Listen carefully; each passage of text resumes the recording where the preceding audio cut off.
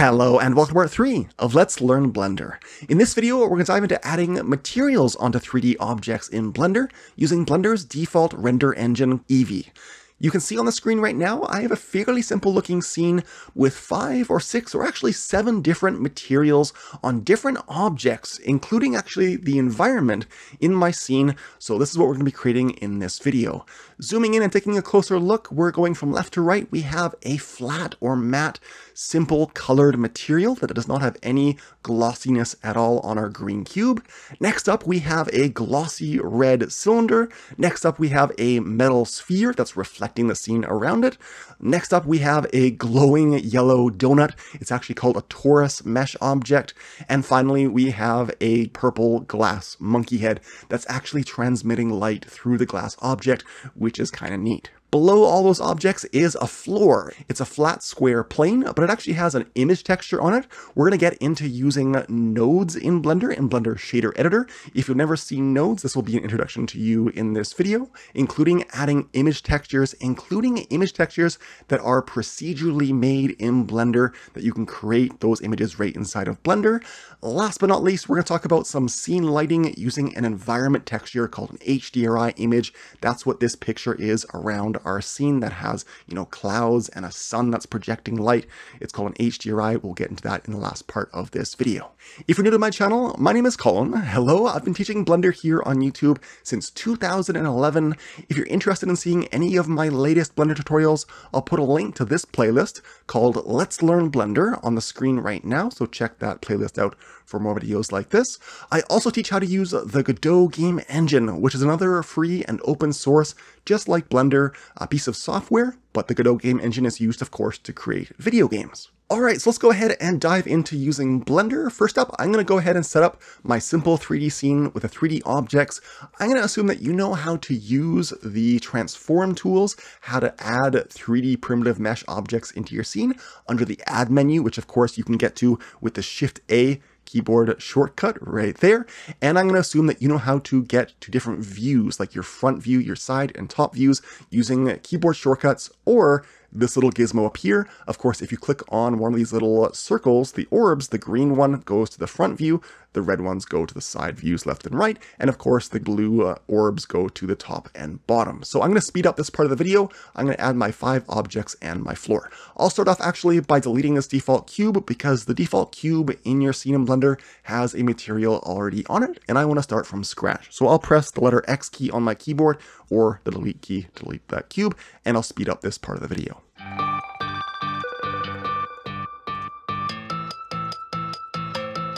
I should probably mention that if you're new to Blender, you might not be aware that you can adjust the properties of a 3D primitive mesh as soon as you add it into your scene using this little pop-up down here. The last thing you did, if you moved an object, well, you'll get a little last operation popover right here, and you can open it up and you can change the properties of what you just did, including in this case, the number of major segments.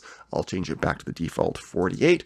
Minor segments go around. So this changes the number of faces or polygons on the object. I'll click and type in 24 there and press enter. Note that as soon as you add a 3D primitive mesh into your scene, you can change these properties, but as soon as, I'll go ahead and change the minor radius to finalize that uh, donut shape. As soon as you change the object's transformation, like where it is, you just moved it, well, this popover becomes the move last operation, and you can't change your primitive mesh without doing some 3D modeling, which is beyond the scope of this video. So there you go. I'll go ahead and finish off this scene. Alright, so as you can see, I have my simple scene, I've got my five objects and my floor. Let's go ahead and add some materials. I'll go ahead and zoom in on my first object, the cube.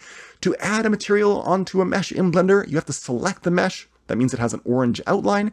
You go over to the properties editor. This is the editor that has the properties of the scene as a whole, your file, and the object that you have selected. So if I have the cube selected, you'll see that I have a little beach ball tab here. It's called the materials tab. And right now you can see with the mesh selected, there are no materials. There's not much here. If I have some sort of other object selected like a light, well, that beach ball tab is no longer there because you can't put a material like you would onto a mesh onto a light. So you have to make sure you have the right object selected. If I go ahead and press the new button under the materials tab, you can see I have now added a material called material.001 onto this object, and it comes with a lot of properties. Now, we're not going to talk about every one of these properties or different elements of this shader. By the way, when you add a material onto an object, it basically is called a shader. There are different shader types you can add. The principled BSDF shader is the default because it has so many different options. It's very versatile. Most of the time you stick to this, but in this video, we're gonna look how to mix different shaders together to make more complex materials a little later on.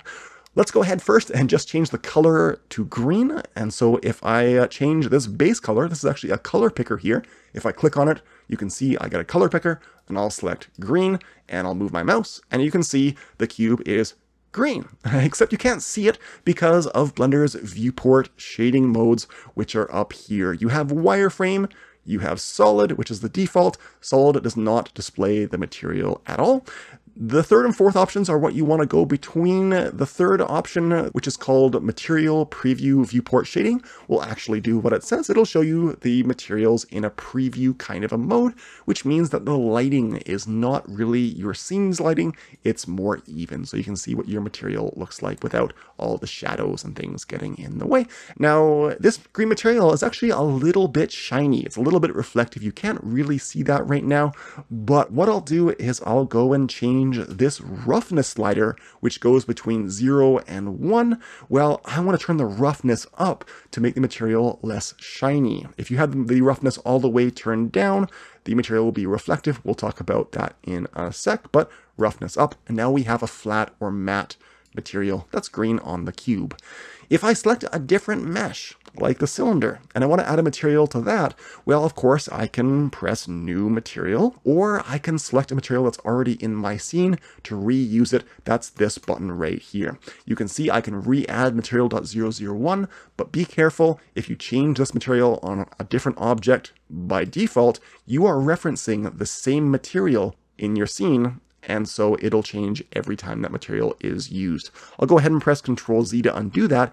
If I want to make a duplicate of this material.001, I can press this little duplicate button. By the way, this 2 here means that there are two objects or users of this material. You can also press this 2 to make a copy as well, or this little duplicate button.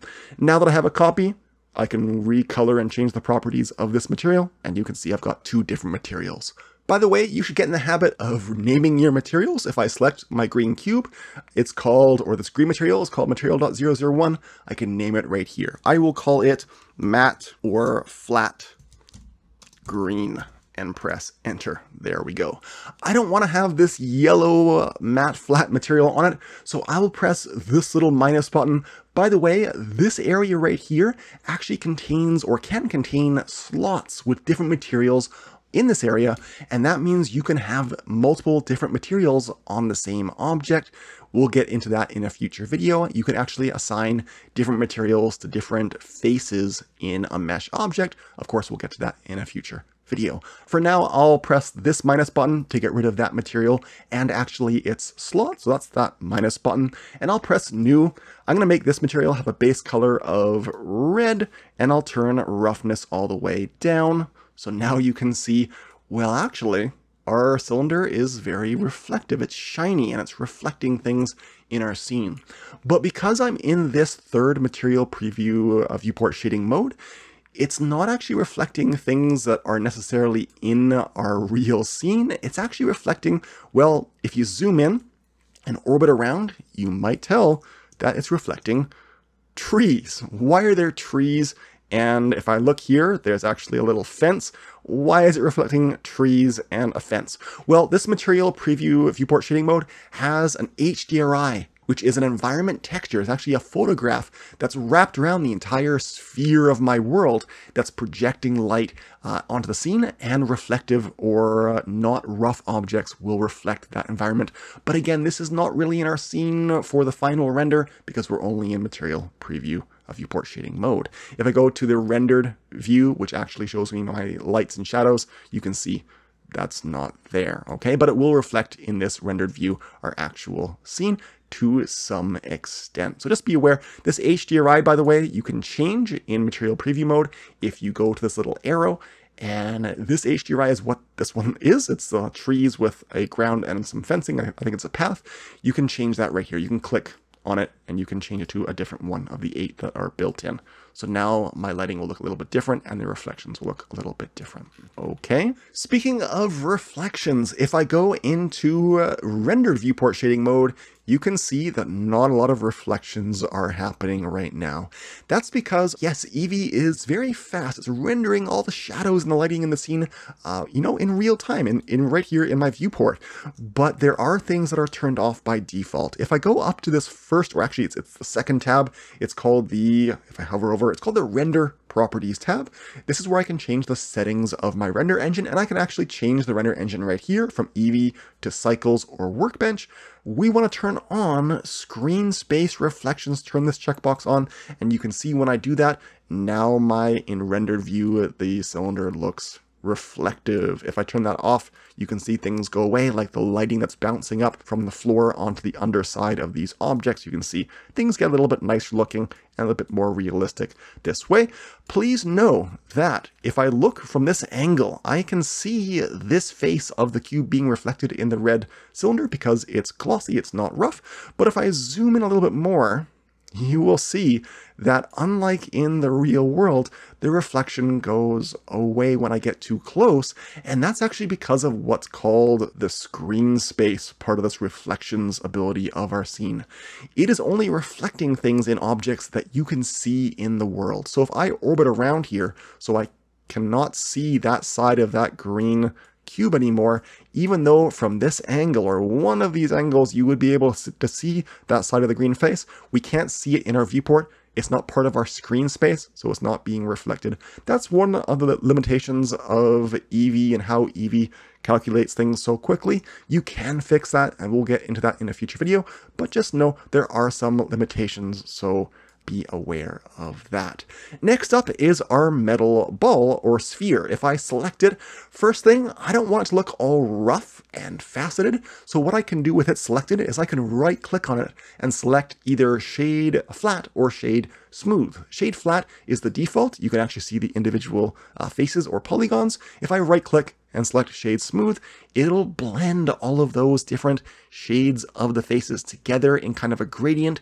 You'll notice that looking at the side of this sphere, it is still not very high polygon or, or high number of faces. It's not very dense it's just doing this sort of shading technique sort of artificially. We'll actually do it a better way for our monkey head for the glass a little bit later in this video. So with my sphere selected, I'm going to go to the material tab, the beach ball right here. I'll press new to make a metal ball. I'm going to turn up this metallic property. Now, technically, metallic objects are either metallic or they're not. So this metallic slider really should be zero or one. You can decide if you want to stick to that, that law of physics and materials. I'm going to turn it up to one so you can see. And now we have a fairly metal looking object. Metal can be brushed and you can add different bumpiness materials to it. Uh, we're not going to get into that in this video. What you can do is you can change the roughness. So if you turn roughness all the way down, you'll get basically a perfect mirror-like uh, sphere. If you turn roughness up, it looks a little bit more like metal. You will notice, of course, in the reflections of this metal sphere that you have that limitation where it'll only reflect things you can see in the scene. So I'm getting that red cylinder, but it's not rendering the face, the circular end of the cylinder, unless it's actually in my viewport like that. So be aware of that limitation. Next up is the glowing donut. We've been looking forward to this one, haven't we? If I select it, of course, I want to right click. I want to say, of course, shade smooth. I'll go over to my materials tab in the properties editor. I'll press new. I'm going to turn on what is called emission. First off though, I'm going to change the base color to yellow, there we go. And if I turn the emission color from black, which means basically, well, emitting light is where this word comes from. If I change this to a different color, I'll turn it up from black to white, and I'll turn it to yellow, you can see now that my donut looks like it's brighter. It's glowing a little bit. It's not actually casting light onto other objects, and we can change the emission strength. So if I turn this up to, I'll just click in there and I'll type, oh, 20 well, now you can see on reflective objects or objects that have some glossiness, you will see a little bit of brightness being projected into the rest of the scene. Now, realistically, a glowing object like this would actually have a little bit of a haze around it. To enable that, we're going to go back into Eevee's render settings right here under the second tab, and we're going to enable what is called bloom. As soon as I check that, you'll see the effect. There's bloom, there's bloom off, there's bloom on. Bloom, of course, has settings, and I wouldn't leave these at the default. I would turn up the threshold to make the bloom not quite go as far, or at least not for objects that aren't bright enough to really have that kind of a bloom. I'll also turn down the radius a little bit, and I can tweak the intensity a little bit as well. I might turn the threshold down a little bit to make things that are less bright uh, glow. And I can adjust, of course, under the material tab, the emission strength to a different number. I'll try 35 or something like that. And I'll go back and tweak the intensity and the settings until I get the result that I'm looking for. All right, zooming out, if I deselect that uh, donut, you can see what it looks like. I've adjusted a few of the settings and I'm happy with that result. Last but not least, out of the five, I have my purple glass monkey head. If I select the monkey head and I zoom in a little bit, I'll right click after it's selected and say shade smooth.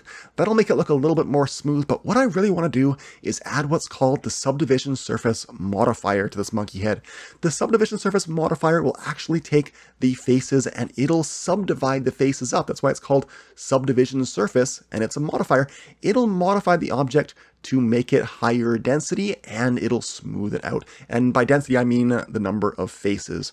To do this quickly, I could just select it and press Control and the number row 2 on my keyboard. Control 2 on my keyboard will make the monkey head have more faces, it'll be smoothed out. By pressing Control 2, what I actually did was I added under this wrench tab the subdivision surface modifier, and if I press this little X, I can get rid of it there's the original monkey head again. A modifier is basically a procedural change that you can make to an object, especially a mesh object, and there are lots of modifiers available. The subdivision surface modifier right here, if I just click on it after I select it, you can see it adds the modifier options right here and it makes the monkey head smooth. You can change the levels or the amount of subdivisions or smoothing up in the viewport and in your final render. I would not suggest that you turn these up beyond 2 unless you really want to test how fast and powerful your computer is without letting Blender crash. With the monkey head smooth, and by the way, you can turn off in your screen the effect of the modifier as long as you don't apply it. So I would never click on this apply until I'm very much done my whole scene. You can turn it off and on in your monitor or in the viewport, and you can turn this effect on and off in your final render as well. But let's go ahead and add glass. I'll select the monkey head. I'll go to my material properties tab. I'll press new. I'll pick a base color of purpley magenta E color. To make glass, you need to turn up what is called, in your principled BSDF shader, the transmission of this material. If I turn the transmission up, that means it will transmit light and that basically means transmit light through it. But Eevee does not have that set up or enabled by default. I need to now go to my render properties. So number one, you add a normal base material. Uh, step two is you change the color. Step three, you turn up transmission. There's a few steps here, which is why I'm going over this. Transmission is all the way up.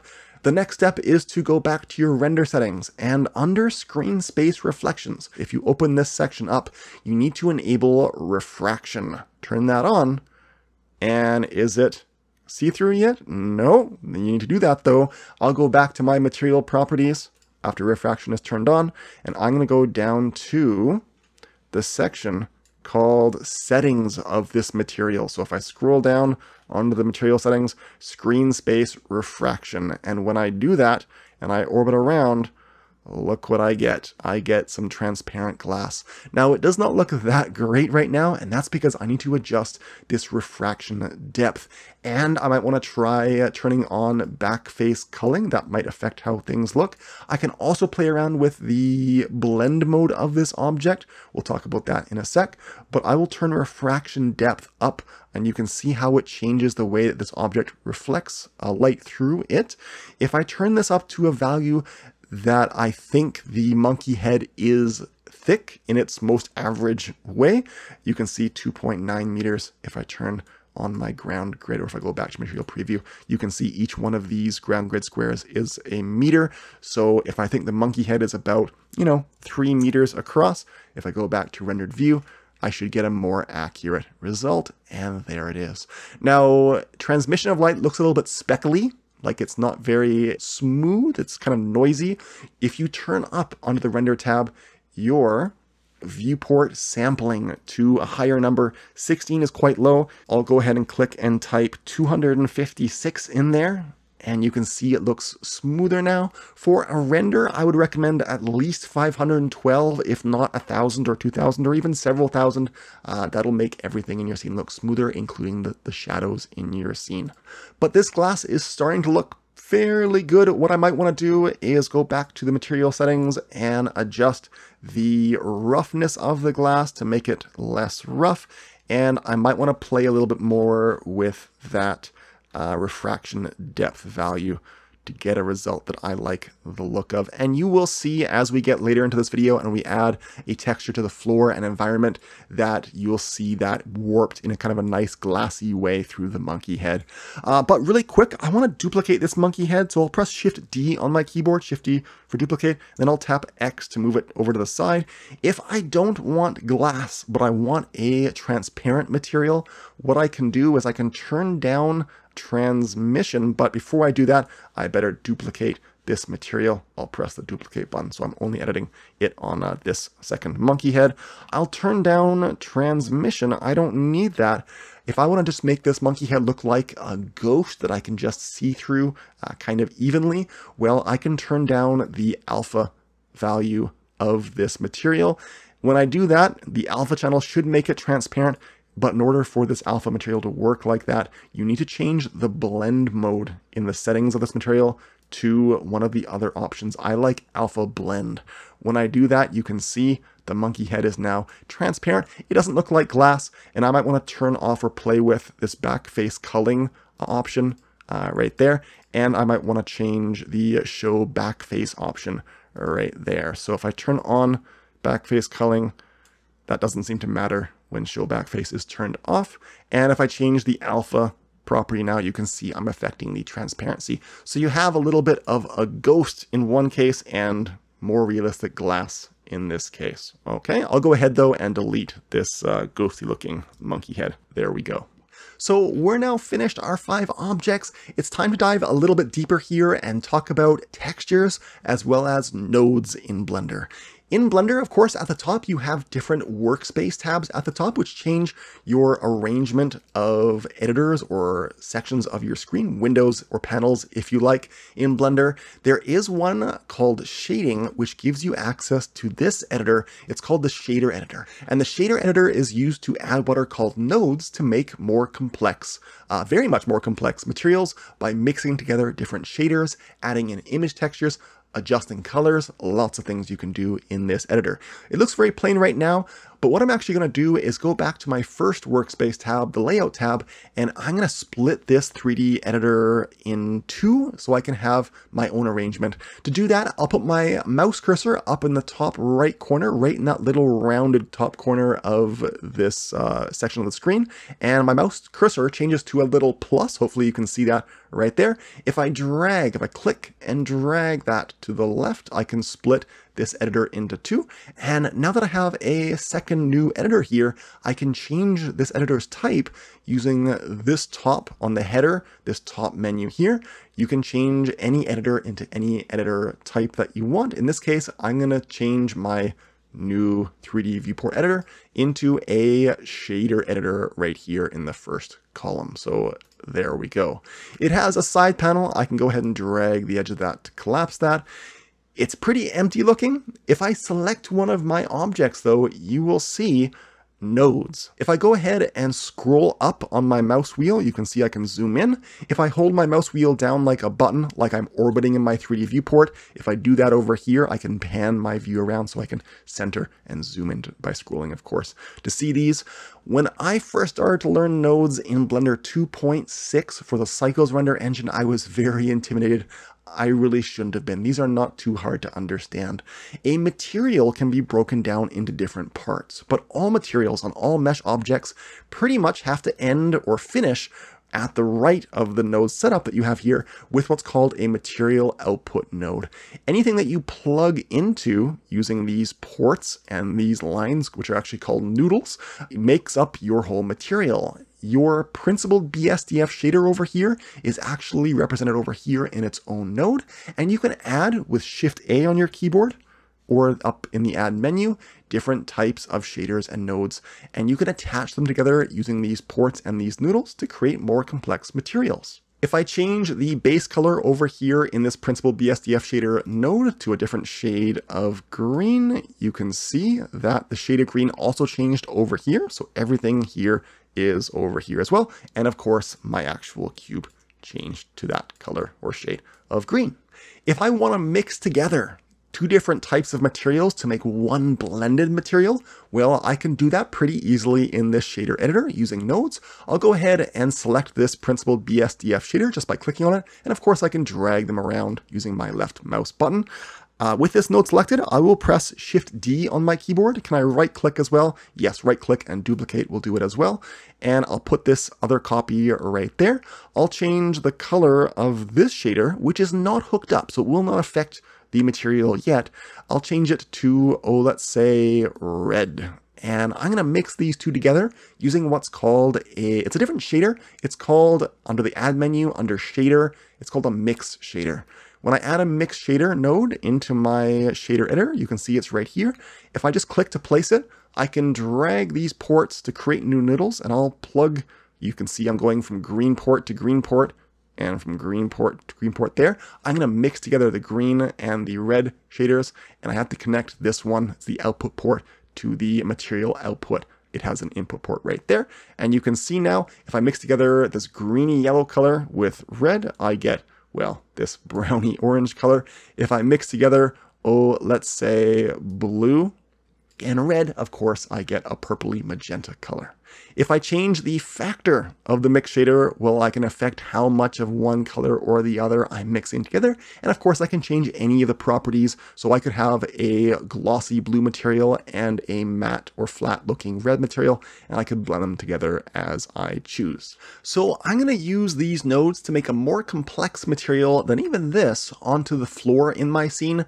First off, I'm going to go ahead and delete the mix shader because I'm going to bring this material back to a, a matte green color to match the name that I gave it. And I can go ahead and reconnect things and delete nodes, and I'll change this back to green like I had before. I'll select my floor, and you can see there are no nodes present because I don't have a material. I can press this button over here, or I can press the same new material button up here to make the same new material. I'm gonna go ahead and make the color of my floor. I'm gonna make it, oh, let's say blue. And I'll duplicate this principled BSDF shader. I'll select it and Shift D on my keyboard to duplicate it. And it also grabs it, of course. I'm gonna make the blue um, I'm going to make it totally rough, so it's not going to be reflective at all. And I'm going to make the other principled BSDF shader a red, and I'm going to make it very much glossy and reflective. I'm going to go ahead and mix those two principled BSDF shaders together using, of course, under the add menu under shader, a mix shader right there. And of course, just like before, I'm going to plug things together to configure the overall material the way that I want. This time though, you know, I've mixed together red and blue, so I have, of course, purple. This time though, I'm going to use the input in this mix shaders factor to bring in a procedural texture. Now in Blender, you can bring in, of course, an image texture, and we'll do that in just a few moments.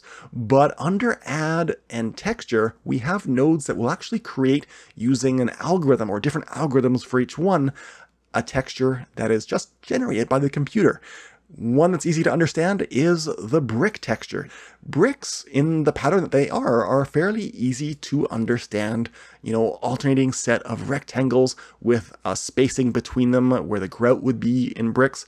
And that's something that a computer can fairly easy figure out and replicate again and again using an algorithm or basically math and a little bit of programming.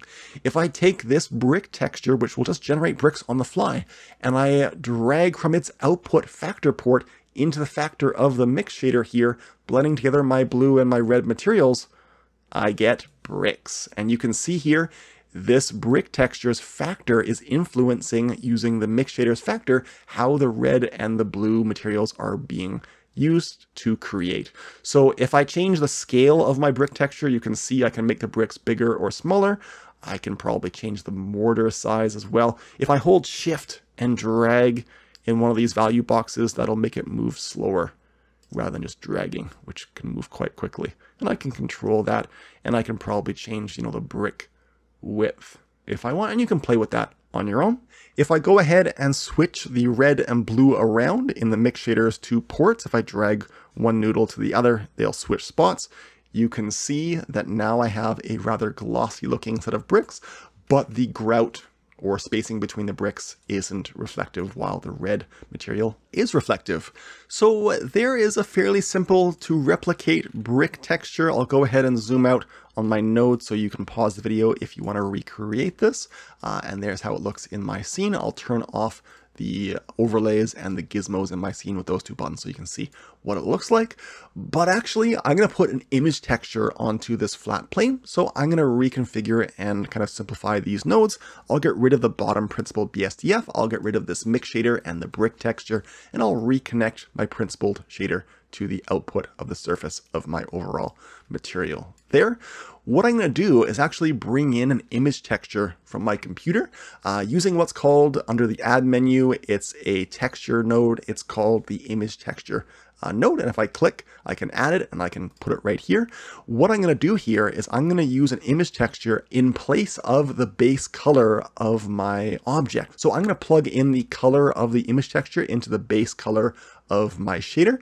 And I haven't picked an image on my computer yet, so the material is black for now, but I can just press open and it'll bring me to an open dialog box where I can go on my computer and find an image file. Speaking of which, if I go into a web browser and I open up cc0textures.com, this is a great resource for you to know. It's a website, if I click up here on assets or categories, of texture packs to make very realistic, what are called physically based rendering uh, texture packs for different types of materials.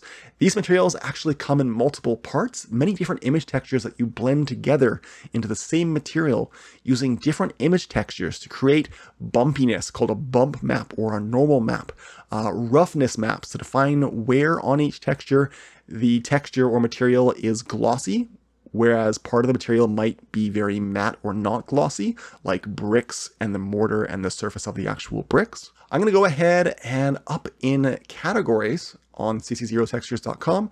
If I go to uh, the wood floor category, the first wood floor, I'm going to go ahead and use this. It is called Wood Floor 041. I'll actually put a link to this in the description area below to you to find this exact page where I'll download the 2K, which is a lower to medium resolution size uh, set of image files to make this texture up. Of course, you can download very, very large, high quality photos if you're doing something for a professional purpose. In my case, on my desktop, I'll go ahead in Blender, I've pressed open on that image texture uh. On my desktop, I have that folder unzipped from cc0textures.com.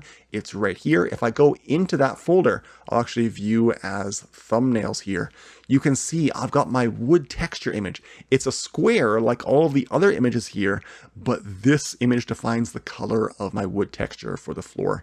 This purple picture here is called a normal map, which defines the bumpiness of the material. There are different textures that you can combine together into the same material for different purposes like where shading and shadows are, where the material is rough or glossy. In this case, I'm just going to use the color for this video here. So I'll select that picture and press open image. And now you can see I have a wood floor. It's not super realistic here because there's no bumpiness, there's no different areas that are more shiny and dull. It's very flat looking, especially if I turn the roughness uh, down, you can see that, you know, it looks like a very smooth varnished floor. And of course, if you try to do this technique onto a 3D object where you were trying to put this wood around the different surfaces of, let's say, a monkey head or even a table, you would need to do what's called UV mapping to uh, assign different parts of the same uh, texture onto the correct parts of your 3D model. Again, we'll get to that in a future video. In my case, I'm actually not going to use this wood floor. I wanted to show it to you, but I'm going to press this X to clear that image texture out of this node. In this case, I'm going to actually have Blender create an image for me. I can actually make new image files and save them as PNG picture files or JPEG picture files on my computer. If I press this new button, it'll bring up a little pop-up and I can make a new picture with a resolution of my choice. But in my case, I'm not going to make a new blank uh, picture with a black color filling up this square resolution of the, of the picture file. In my case, I'm going to choose what's called a UV grid, which looks a lot like a checkerboard, but with numbers and colors in each tile of the checkerboard essentially. So if I select UV grid, I'll name this picture UV grid and I'll press enter and I'll press OK. You'll see I get a UV grid uh, on my plane. If I actually want to see that picture file in kind of an image viewer in Blender, I can go up to uh, my texture paint a workspace tab. Here in this left side of the screen is that image file that I've just created. If I want to save this picture file, well, I can go onto this texture paint workspace to the image menu here, and I can say save or save as, and I can actually save it as a PNG or a JPEG file on my computer. But instead, what I'm going to do, just under my layout tab, is I'm going to go up to file and go down to external data, and I'm going to say pack all into blend. This will take that picture file that really should be a separate picture file, but it'll actually make it a part of my Blender file. So file, external data, and pack all into blend. And you can see down here, it says to me packed one files. It's basically put that picture file and integrated it into this Blender file. So if I want to send somebody else this Blender file project, I don't have to send them a separate picture file along with my .blend Blender file. It's all just in one file. So it's a good practice whenever you bring image textures into Blender to go up to File, External Data, and pack all into Blend. Lastly is our environment. Right now, I just have my default gray world that's actually casting gray light onto my scene. It's actually lighting my scene a little bit. This video really isn't meant to talk about lighting too much, but because I will be adding a texture or material to my environment, it belongs, I think, in this video. If I want to change this default gray color, I can go over to my properties editor and I can go to the world tab, and here I can change the color of my background of my scene. So if I change my scene, let's say have a blue sky, I'll turn the brightness up. There you go. Now my scene's brighter with a lighter gray sky. I can also change it to a blue sky, but when I have a blue sky, it projects blue light into my scene. I might not want that. This is a case where I might want to actually use nodes or the shader editor to make a custom material for my world. Now, this shader editor right now is set to object mode. That means we're looking at nodes for materials on objects. But if I change this menu here to world mode, well, now I'm seeing the nodes of my world.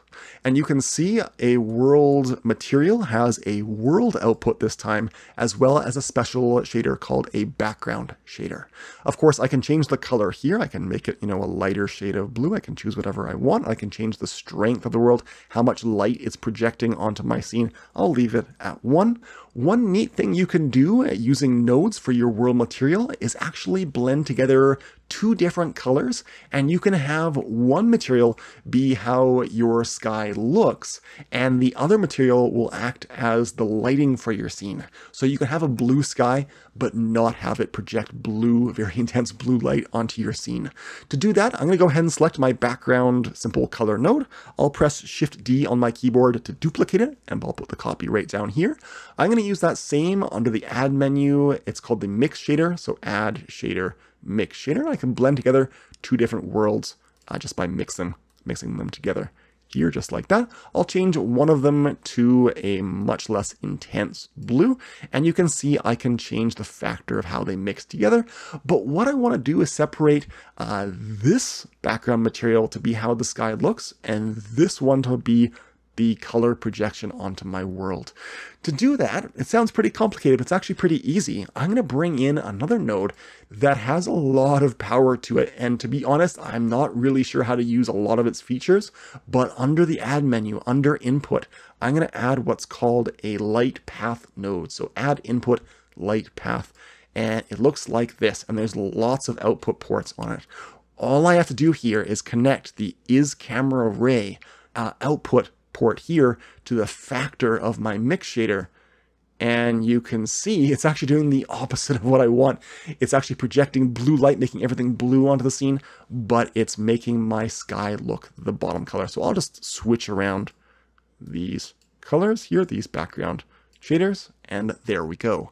I might want to adjust the color of my scene lighting. I'm making it a little bit more blue, but that could be handy for any of you who are looking to make a cartoon in the future with a blue sky, but not entirely blue lighting on your scene.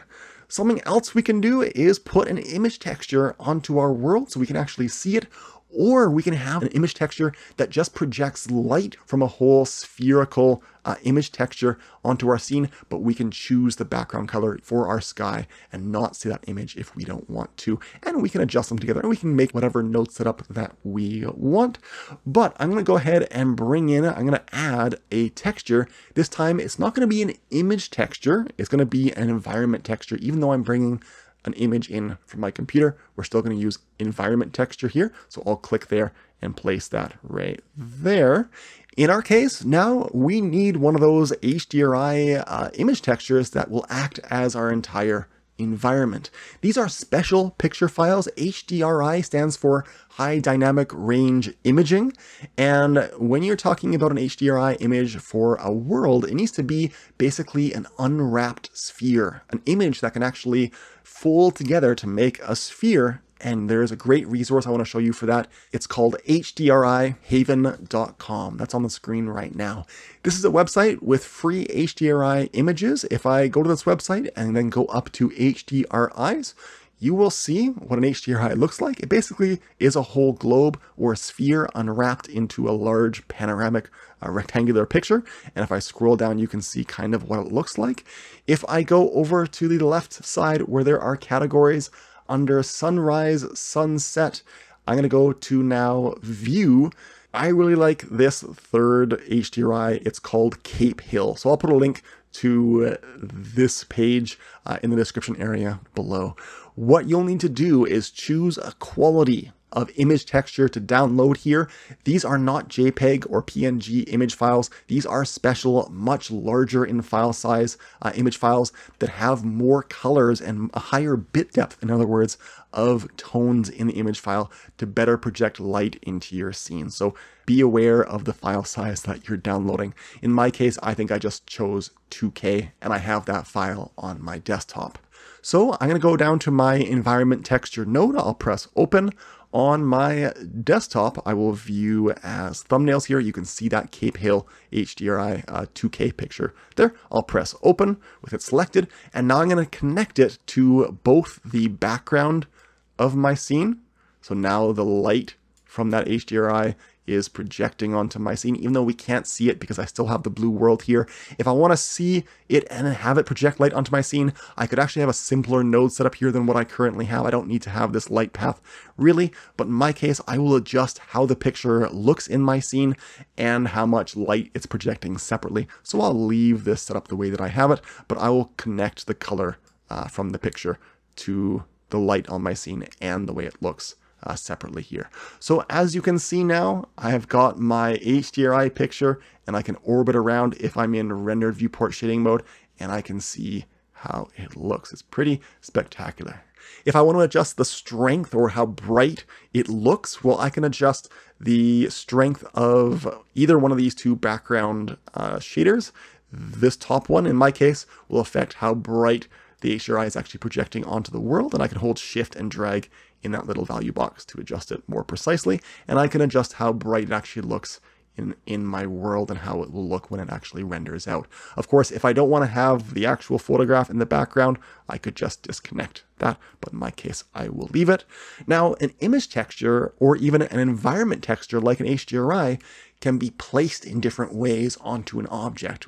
In this case, I might want to change where this image environment texture is in my world. If I want to look at my five objects here all lined up, but I want to have that nice sunset kind of in behind the objects, well, I can rotate this HDRI image texture in my world. To do that, I'm going to change the vector of my image environment texture here by plugging in a few different nodes. What I'll do is I'm going to go up to the add menu and I'm going to input what's called a texture coordinate a node. So input texture coordinate. When I add this node to my scene, basically it gives me a list to choose from of different ways you can map a texture onto a surface, including your world environment. In this case, I'm going to use what's called generated because we can manipulate this one quite easily. I'm going to drag from that port into the vector of my environment image texture. So nothing here should change because your environment texture actually uses the generated uh, mapping by default.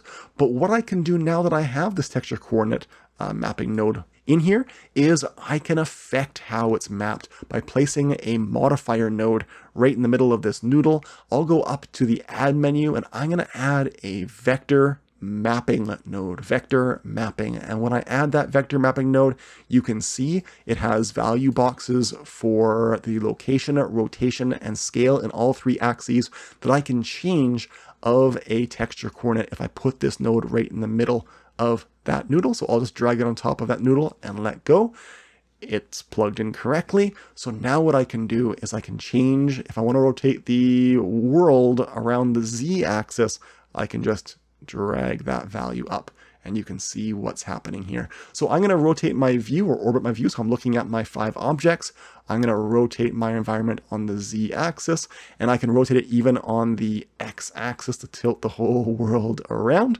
And if I adjust the shading or the brightness of my background, which one is it? It's not the top one, it's the bottom one. I can make my sky darker, make a very final sunset look to my scene. Maybe I'll cast some light through the monkey head. And we have basically our final scene here.